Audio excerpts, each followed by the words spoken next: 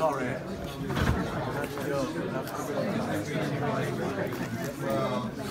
Right, thank you very much. Bye, Peter.